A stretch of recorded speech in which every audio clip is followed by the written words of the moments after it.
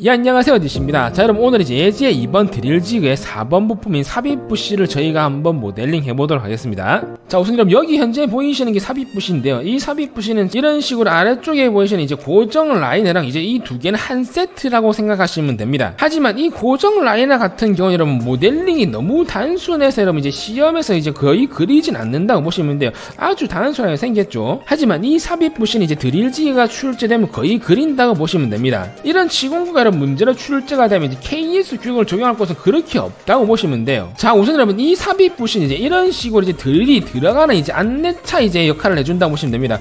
이런 식으로 이제 드릴이 이제 이 삽입 부시 안으로 들어가서 이제 밑에 있는 공작물 이제 이런 식으로 이제 가공을 한다고 보시면 돼요. 자, 현재 문제도면을 보시면 이제 이런 식으로 이제 삽입 부시가 이제 들어가 있습니다. 삽입 부시의 종류는 KS 규격집 여러분 노치형, 우회전용 노치형, 좌회전용 노치형이 있습니다. 보통 국가시험에서는 거의 전부 다 우회전용 노치형으로 이제 출제가 된다고 보시면 돼요. 구분 방법은 아주 쉽습니다. 문제 도면에서 만약 이 삽입 부시의 위쪽 평면도가 있으면 공단 KS 규격집에 보시면 그림으로 아주 상세하게 나와 있기 때문에 똑같은 걸 여러분 찾으시면 되고요. 그리고 이런 식으로 단면도가 있으면 현재 이 삽입 부시 위쪽 이런 식으로 이제 fillet 값이 들어가 있죠. 저 위쪽에 fillet 값이 들어가 있는 건 우회전용 노치형이고요. 저 fillet 값이 아래쪽에 들어가 있는 건 좌회전용 노치형입니다. 하지만 국가 시험에서는 거의 우회전용 노치형만 나온다고 보시면 돼요. 우선 이 삽입 부시의 KS 규격을 찾으려면 이 문제도면에서 뭘 측정해야 되냐? 현재 여기 보이시는 이제 드릴이 들어가는 구멍 있죠, 여러분? 이 구멍 지름만 여러분들이 자로 측정하시면 됩니다. 5mm가 나왔죠? 그러면 저 지름에 속하는 KS 규격 치수를 여러분들이 규격집에 찾아가지고 그대로 모델링을 하시면 됩니다. 자, 우선 공단 KS 규격집 40이면 삽입부시 규격을 보시면 저희가 문제로 측정한 값이 안쪽 지름값 D1 값입니다. 5mm가 나왔기 때문에 4 초과 6 이하에 속하죠. 자, 그럼 그에 맞는 규격을 여러분들이 적용시켜 주시면 되는데 현재 왼쪽 다면 도면의 치수를 여러분들이 참조하면서 보시면 됩니다. 바깥쪽 지름값 D값이 얼마가 되냐? 기준 치수인 이제 10mm가 됩니다. 그렇기 때문에 바깥쪽 지름 치수가 10이 되고요. 그 다음 삽입부시의 머리 부분인 D2 값 지름은 18mm가 됩니다. 자, 그 다음 길이 값인 L 값은 규격 지 수에 보시면 12mm, 16mm, 20mm, 25mm 이렇게 총 4가지가 있습니다.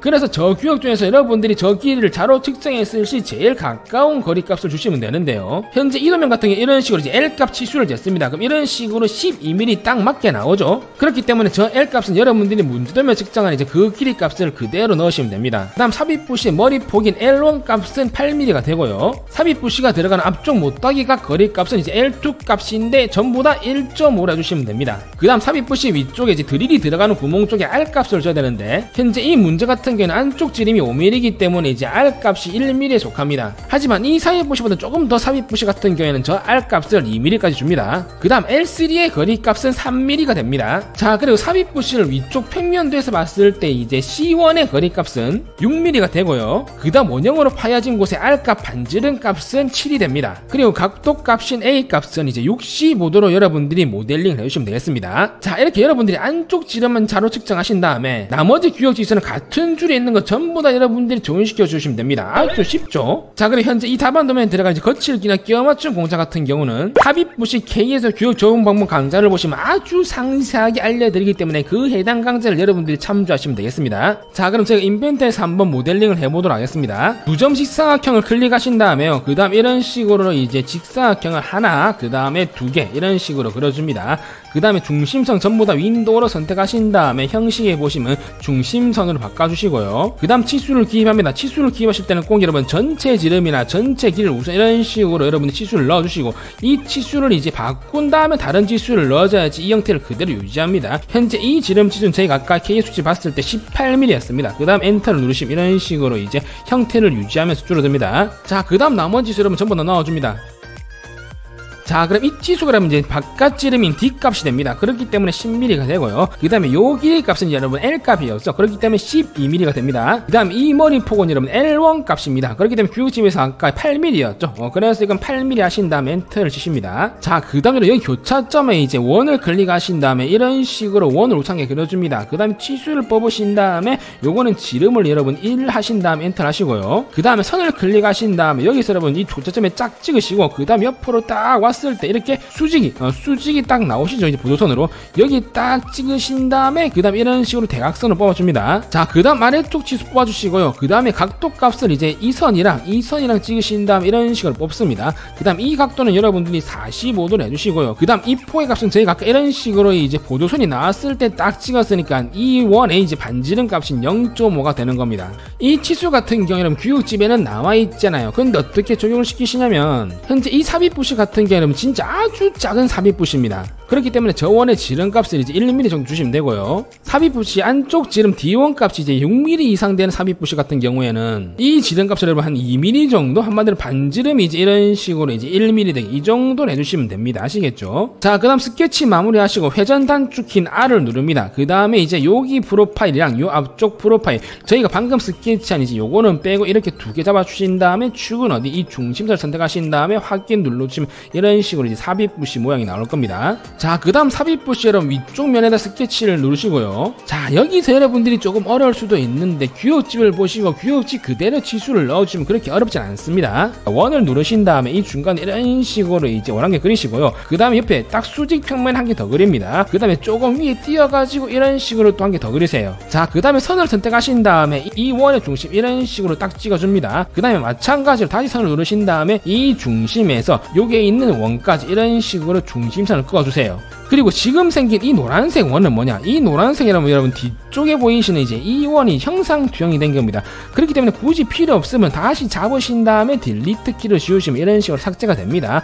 그럼 이 두 개의 선을 여러분들이 선택을 해주시고 이런 식으로 한 번에 두 개를 선택하실 겁니다. 여러분 한 개를 선택하신 다음에 Shift를 누른 상태에서 그 다음에 또 한 개 선을 이런 식으로 드래그 선택하시면 두 개가 동시에 잡힙니다. 그리고 이 선 위에 형식에서 뭘로 바꾼다? 구성선으로 변경을 해 줍니다. 자, 그 다음에 원의 치수를 전부 다 이런 식으로 뽑아줍니다. 얘 뽑고, 얘 뽑고, 얘 뽑고 이런 식으로 뽑아주시고요. 이 중간에 원의 지름 치수는 여러분 이제 12가 됩니다. 아, 그 다음에 요 지름 치수는 여러분 얼마가 되냐면 14가 되고요. 위에는 동일하기 때문에 이 원을 찍으시고 이제 이 치수를 찍고 엔터를 누르시면 이제 이 치수 같이 연동이 됩니다. 이 치수 같은 경우는 규격지에 보시면 이제 저 안쪽에 있는 지름 값은 C1 값입니다. 근데 C1 값은 저렇게 이제 반지름으로 되어 있기 때문에 거리 값이 6이 죠. 그렇기 때문에 지름으로 치수를 기입했기 때문에 두 배인 값인 12mm를 주는 거고요. 그 다음에 오른쪽에 있는 두 개의 원 같은 경우에 이제 R 값이 7입니다. 그렇기 때문에 이제 지름 값이 14가 되는 걸 보시면 됩니다. 그런데 나는 만약 이렇게 원의 치수를 줄 때 지름 말고 반지름으로 주고 싶다. 그렇게도 할 수가 있어요. 자, 어떻게 하시냐면 여러분 이런 식으로 이제 치수를 넣으실 때 원을 찍고 그 다음에 마우스 오른쪽을 눌러보시면 이런 식으로 취수 유형이 있습니다.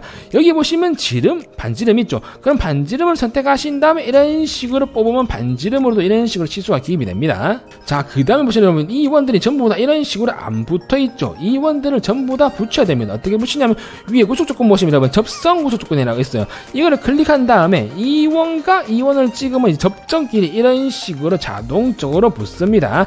자, 그 다음에 이 중간에 치수 이런 식으로 각도값 뽑아주시고요. 이 각도값은 얼마냐? 규격집 저희 봤을 때 65도였죠. 자, 이렇게 한 다음 여러분들이 이제 돌출 단축키인 1을 눌러보시면 이런 식으로 이제 프로파일이 전부 다 잘 선택이 되는 거 보이시죠? 근데 현재 이 버전은 여러분 2020 버전이라서 이런 식으로 에러가 한 개도 없이 프로파일이 잘 잡히는 편입니다. 하지만 조금 하위 버전을 쓰시는 분들은 이 프로파일이 잘안 잡힐 경우가 있어요. 그럴 때는 자르기를 누르신 다음에 이런 식으로 이제 듀오집에 있는 모양 그대로 여러분들이 전부 다 이렇게 잘라 주셔야 됩니다. 이런 식으로 자르고 필요 없는 거는 잡고 지우면 되겠죠. 근데 이렇게 자르기로 잘라버리면 이 원에 이제 치수가 날라가 버려. 그렇다고 이 치수가 바뀐 건 아닙니다. 근데 이런 색깔이 변하죠. 여러분들 이런 식으로 치수를 다시 뽑아주시고 접성 구속을 누르신 다음에 다시 이런 식으로 져야지 완벽하게 구속이 됩니다. 근데 이렇게 솔직히 완벽하게 구속이 안 돼도 그렇게 큰 상관 이 없어요. 그래서 인벤터 최신 버전을 쓰시는 분들은 프로파일 오류가 거의 없기 때문에 그냥 바로 하시면 되겠고 인벤터 좀 하위 버전을 쓰시는 분들은 이런 식으로 혹시 안 되시면 정리를 해주셔야 됩니다. 자, 그 다음 여러분 돌출 단축 키는 1을 바로 누르시면 됩니다. 그 다음에 이 아래쪽 프로파일을 선택해 주신 다음에 여기 보시면 이제 전체 관통이 있죠. 전체 관통 해주신 다음에 이런 식으로 우선 다 날려버립니다. 이쪽은. 그 다음에 확인을 누르시면 이런 식으로 이제 날아가겠죠. 그 다음에 위에 쪽에 보시면 이런 식으로 다 날리시면 안 되고 이제 요 깊이 까지만 날려야 됩니다. 근데 이 깊이 값이 얼마냐? 자 규격집에서 보시면 여러분 이 L3 거리값이 3mm였습니다. 그렇기 때문에 이 3mm 빼고 나머지를 날려야 돼요. 그렇기 때문에 이 거리값은 8mm에서 3mm를 뺀 얼마? 이런 식으로 이제 5mm를 여러분들이 날려주시면 되겠습니다. 자 그런데 문제가 뭐냐면 인벤터 같은 경우에는 한 개의 스케치에 이런 식으로 한 개의 명령만 먹습니다. 그렇기 때문에 저희가 돌출 명령을 쓰기 위해서 앞에 스케치 창을 이미 써버렸죠. 하지만 그걸 다시 쓸 수가 있습니다. 모형 트리에서 돌출을 누르신 다음에 밑에 스케치 있죠? 선택해 주신 다음에 마우스 마우스 오른쪽 누르시고 그 다음에 스케치 공유를 누릅니다. 그럼 이런 식으로 이, 이 스케치를 여러분 계속 사용할 수가 있어요. 그렇기 때문에 바로 돌출 단축키는 1을 누르시고 이제 위에 프로파일 이런 식으로 선택을 합니다. 자 그 다음 방향에는 반대 방향이기 때문에 반전을 눌러주시고 이 거리값이 얼마였죠 여러분? 5mm였죠? 5mm 하신 다음에 확인을 누르시면 이제 이런 식으로 이제 삽입 부시가 모델링이 됩니다.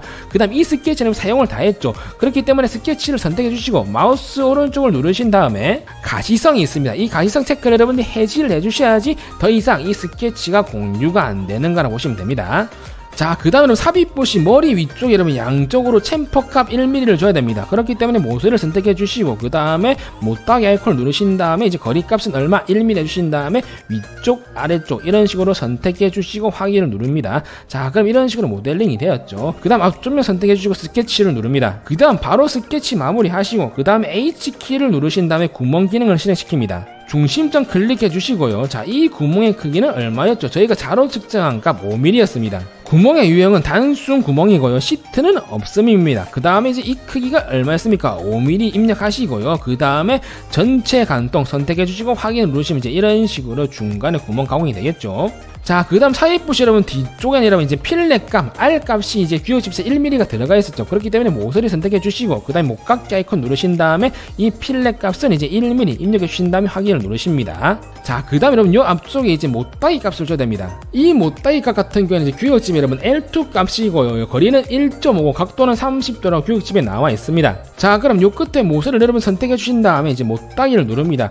근데 이제 각도 값이 여러분 이제 1.5랑 각도를 같이 넣어야 되죠. 그렇기 때문에 이두 번째 거리 및 각도 아이콘 누르신 다음에요. 거리 값은 1.5였습니다. 그 다음에 각도는 몇 도? 30도였죠. 자, 그러면 이 원통 평면을 먼저 선택해 주시고 그 다음에 이 모서리를 이런 식으로 선택을 해주시면 자 그럼 이제 이런 식으로 이제 못다이 값이 들어갑니다 그래서 이 거리 값이 여러분 이제 1.5mm가 되고요 이 각도가 30도가 되는 거라고 보시면 되겠습니다 자 그 다음에 확인을 누르세요 자 그럼 이제 이런 식으로 삽입 부시 모델링이 끝난 거라 보시면 됩니다 알고 보니까 여러분 그렇게 뭐 썩 어렵진 않죠 자 그런데 문제가 뭐냐 여러분. 이 삽입 부시 여러분 요쪽 면에 이제 널링 표현을 해줘야 됩니다. 왜 그러냐면 저희가 3D 배치할 때 이 삽입 부시 이제 널링이 들어간 곳에 이런 식으로 이제 널링이 표현이 돼야 돼요. 그렇기 때문에 이 널링 표현을 넣어줘야 되는데 널링 같은 경우에는 우리 일상생활에서 아주 손쉽게 볼 수 있는 거라고 보시면 됩니다. 흔히 볼 수 있는 건 저희가 일상적으로 먹는 페트병으로 된 음료수나 이제 생수 같은 거 있죠 그 뚜껑에 보시면 이런 식으로 전부 다 널링 처리가 되어 있을 겁니다. 이렇게 이제 널링 가공을 하는 이유는 여러분 미끄럼 방지 역할을 한다고 보시면 돼요. 저희가 여러분 이 널링은 모델링 할 거긴 아니기 때문에 이 교시는 여러분들이 모르셔도 아무 상관이 없습니다.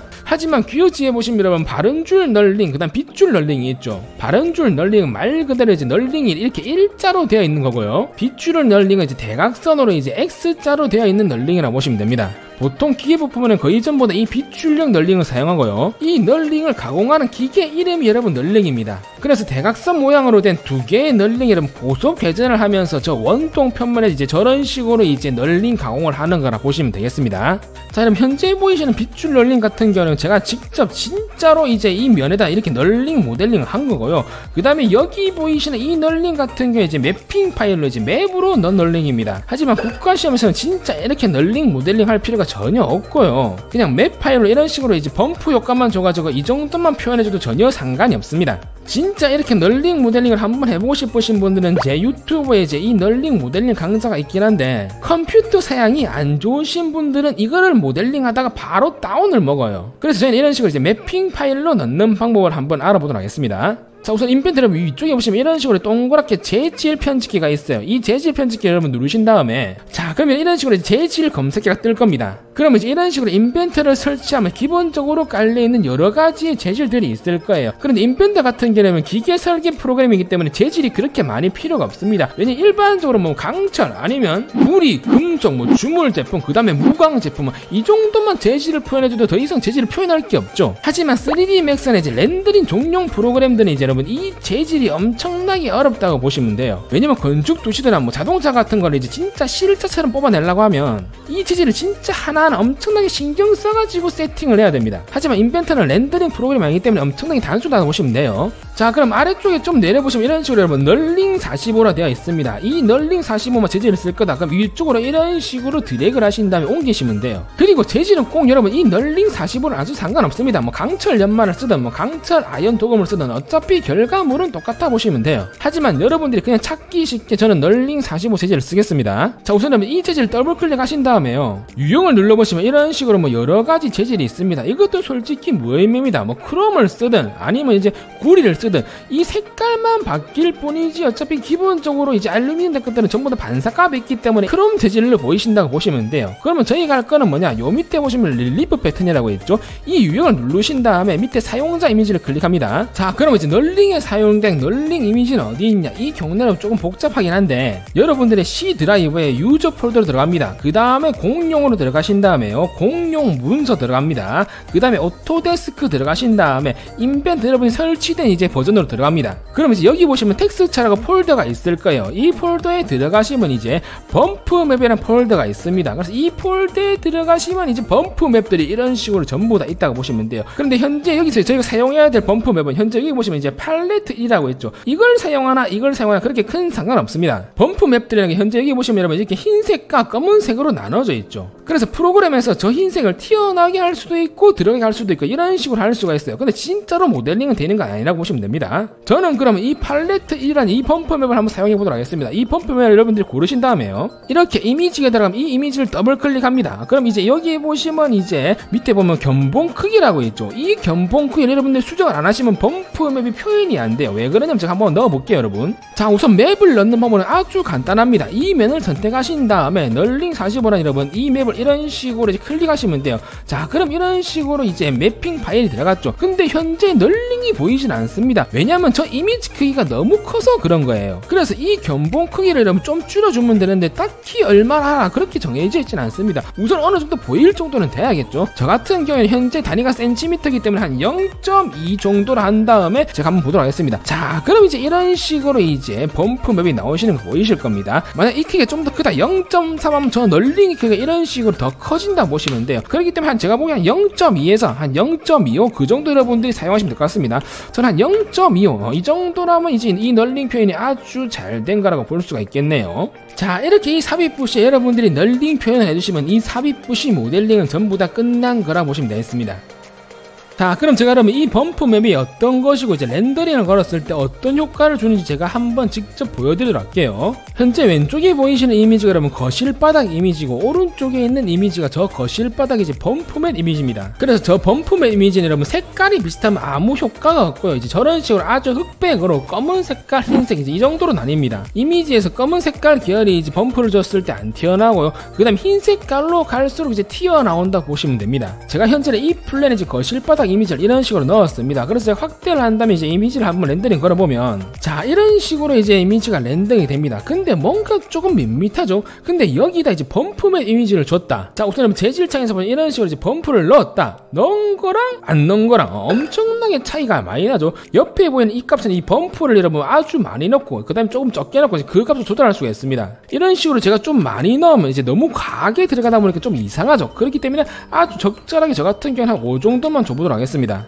자 그럼 이런 식으로 훨씬 더 bump를 안 줬을 때랑 줬을 때랑 이 정도로 이제 이미지의 quality가 납니다. 그래서 현재 이미지는 제가 bump 값을 조금 준 거예요. 그렇기 때문에 한번 비교를 해보면 이제 이런 식으로 안 줬을 때 줬을 때 안 줬을 때, 예, 줬을 때 확연하게 이제 렌더링에서 quality 차이가 납니다. 하지만 이 bump는 여러분 진짜로 이제 저걸 모델링 하는 건 아니라 보시면 돼요. 렌더링 할 때만 저렇게 보인다고 보시면 됩니다. 하지만 Max에서는 displace라는 기능이 있는데 이 기능을 사용하면 저 bump map으로도 모델링을 할 수가 있어요. 자, 현재는 제가 displace를 사용한 건데 이런 식으로 강도 값을 높여주면 이제 이런 식으로 이제 plane에서 모델링이 되면서 이제 밑에 마룻바닥이 올라오는 거 보이시죠?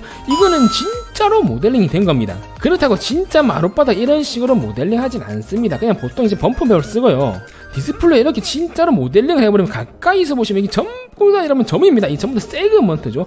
그렇기 때문에 이 segment가 많으면 많을수록 quality가 살아나지만 이 마룻바닥이 그래요. 이렇게 많은 segment를 사용할 수는 없습니다. 왜냐면 용량이 엄청나게 많이 나가고 렌더링이 엄청나게 버벅거리겠죠. 그래도 사용하는 경우는 있습니다. 뭐 지형, 지물이나 아니면 이제 물 같은 걸 모델링할 때 주로 사용하는데요. 자, 현재는 제가 이런 식으로 생긴 이제 노이즈 이미지 map을 이제 저 displace 넣었습니다. 그럼 이제 어떻게 변하느냐? 이런 식으로 값을 올려보면 여러분 이제 저 map대로 이제 이런 식으로 이제 모양이 올라오는 거 보이시죠? 좀 많이 올라가면 뭐 지형, 지물 같은 게 되겠고 뭐 조금 올라오면 이런 식으로 이제 바다나 이제 강처럼 된다고 보시면 됩니다. 모델링이. 이건 진짜로 모델링이 된 거예요. 이 어마무시한 segment 보이시죠? 근데 Max는 여러분 이런 모델링 뿐만 아니라 당연히 이제 애니메이션 렌더링 프로그램입니다. 그렇기 때문에 이 map을 만약 이런 식으로 이동을 했다. 그러면 이런 식으로 이제 물이 흐르는 효과처럼 보이죠. X축으로 이 map이 움직이고 있는 거예요, 현재. Y축으로 움직이면 이런 식으로 흐르겠고 Z축으로 움직이면 얘가 왔다 갔다 하면서 울렁울렁 거리겠죠. 이 map들이. 야, 근데 이게 애니메이션이 가능하다. 제가 간단하게 한개 만들어 보면 여러분 이런 식으로 한 다음에 제가 이 offset 값을 이제 이런 식으로 조금 했습니다.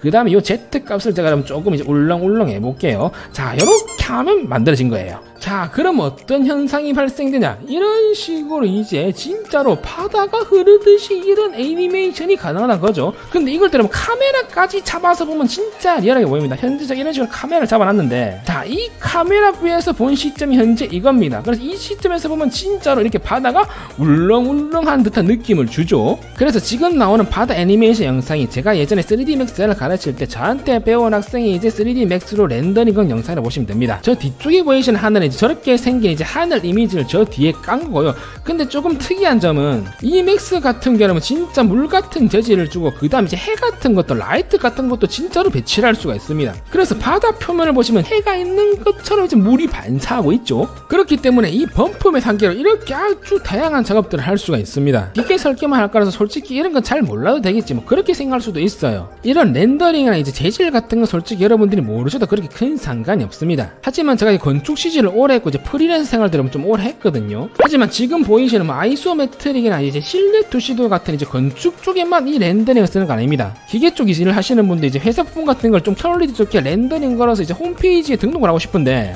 아주 간단한 것도 렌더링을 못 걸어서 예전에 저한테 아주 외주 문의가 몇 번 많이 왔습니다. 왜냐면 기계 부품 같은 경우는 재질이 진짜 단순해요. 그냥 반딱반딱거리고 반사감이 있고 그게 답니다. 현재 보이시는 이미지는 이제 주얼리 학과 학생이 이제 저한테 3D 맥스를 배워서 저 반지를 렌더링한 건데 보시면 알겠지만 재질이 뭐 없죠. 다이아몬드 같은 경우에는 그냥 이제 유리 같은 재질을 주면 되고 그 다음에 다이아몬드를 잡고 있는 저 스테인리스 재질은 엄청나게 좀 반딱반딱거리는 거. 그 다음 아래쪽에는 반지 재질 같은 경우에는 조금 반딱반딱거리지 무광 느낌이나 이제 그런 느낌의 재질을 주면 끝입니다. 그래서 재질의 반사감만 조절할 뿐이지 이미지 같은 이제 매핑 파일 같은 게 전혀 안 들어가기 때문에 기계 쪽 부품들은 렌더링이 엄청나게 단순한 겁니다. 그리고 지금까지 보여드린 이미지는 저한테 3D 맥스를 배운 학생들이 직접 전부 다 렌더링 건 이미지고 저희 DC튜브에 오시면 저희 학생들이 3D 맥스 포트폴리오를 시청할 수가 있습니다. 그래서 여러분들이 조금이나마 이런 식으로 이제 렌더링이나 이제 재질에 관한 걸 좀 알아두시면 나중에 분명 실무에서 도움이 되는 일이 생기실 겁니다.